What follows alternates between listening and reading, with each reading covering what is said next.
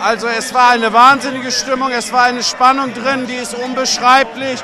Aber was mich viel glücklicher macht, dass dieses Fanprojekt mit einer Fairness geendet hat, die einfach fantastisch ist. Und ich glaube, dass viele, viele türkische Mitbewohner hier Dürens uns am Sonntag beim Finale begleiten werden.